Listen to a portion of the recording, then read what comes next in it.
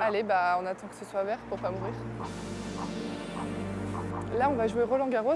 C'est un élite 16. C'est les 16 meilleures équipes mondiales. Et nous, on est en qualif de ce tournoi-là. Et on a la chance de pouvoir participer en fait euh, grâce à une wildcard. Prête à jouer.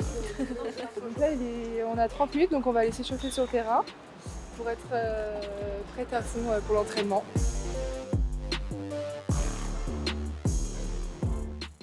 Clémence et moi, ça fait deux ans qu'on joue ensemble. J'avais une autre partenaire avant, elle a dû arrêter le beach volley. Et Clémence, c'était vraiment euh, la suite euh, logique. Elle faisait partie des jeunes et elle attendait un petit peu sa place euh, pour le circuit senior. On a fait un tournoi, enfin plusieurs tournois d'ailleurs de test. Et puis notre personnalité a matché tout de suite et sur le terrain aussi. Aline Chamorro au service pour le titre de championne de France 2023. Et c'est dans le filet et c'est fait Laura Longuet qui ne parvient pas à remettre ce ballon. Et donc Clémence Vieira et Aline Chamorro conservent leur titre de championne de France après celui acquis l'an dernier ici même à Saint-Laurent-du-Var. Eh bien, elles restent invaincues sur la plage Cousteau. Elles sont de nouveau championnes de France.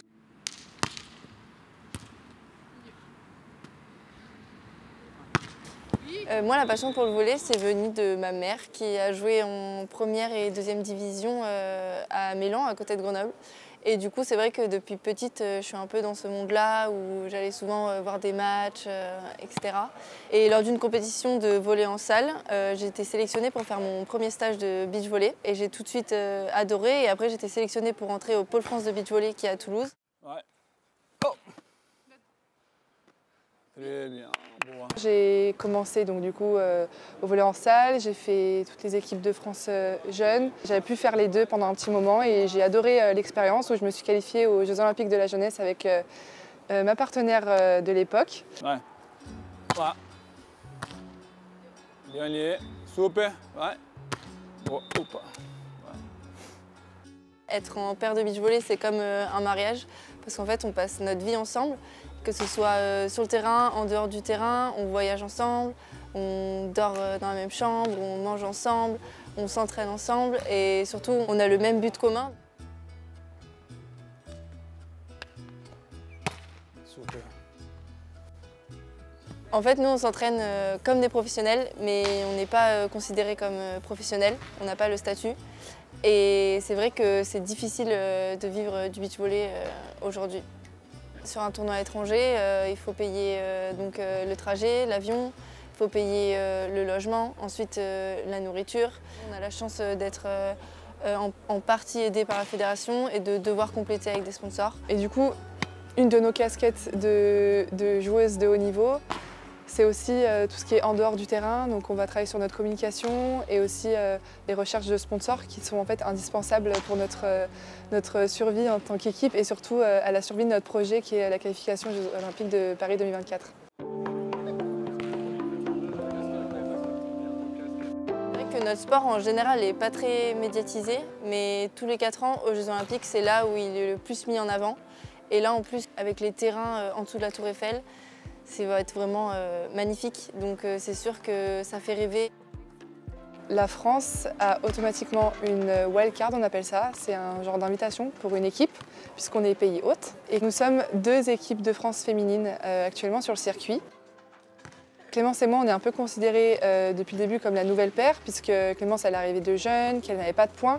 On a été un petit peu retardés par euh, la saison dernière où euh, on s'est beaucoup blessé. Il y a une autre paire qui a de l'avance sur nous sur le classement euh, international. Donc en fait, nous, ce qu'on cherche, c'est essayer de rattraper un maximum notre retard de points et se qualifier au ranking mondial. Mais à la fois, en fait, on est plus que jamais une équipe de France euh, en global, puisqu'en fait, si l'une de nous se qualifie euh, par le ranking ou par la Continental Cup ou je ne sais quoi. Euh, L'autre a la place délivrée pour euh, la France. Donc vraiment, si on pouvait avoir deux équipes de France euh, aux Jeux Olympiques de Paris 2024, ce serait juste extraordinaire, sachant que la dernière fois qu'une équipe féminine est allée aux Jeux, c'était en 1996, euh, date de ma naissance pour la petite histoire.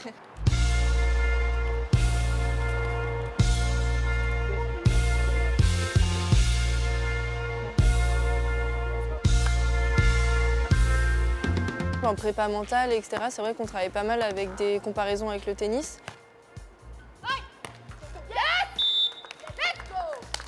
Parce qu'en en fait, oui, on a deux sur le terrain, mais en fait, on doit, comme on doit tout gérer et qu'on n'a pas de coach, c'est vrai que c'est un peu comme, si on était toute seule. Il faut savoir gérer aussi ses émotions personnellement, comme dans beaucoup de sports, mais encore plus là parce qu'on touche tous les ballons. Donc si on a une qui n'est pas bien et qui se qui a besoin de se remettre euh, dedans, ben, il faut aussi euh, savoir se connaître l'une et l'autre et aussi personnellement. Donc euh, il y a pas mal de parallèles à faire, c'est vrai, avec le tennis.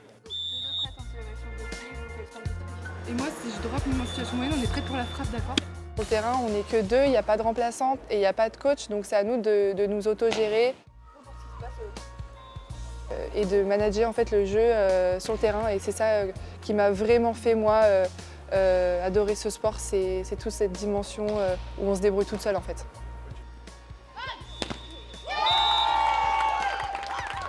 Notre aventure sur circuit international, on la, vit un peu voilà, à huis clos, quoi, un petit peu solo. On essaie de partager au maximum ce qu'on vit sur les réseaux sociaux pour que les gens puissent vivre ça aussi avec nous.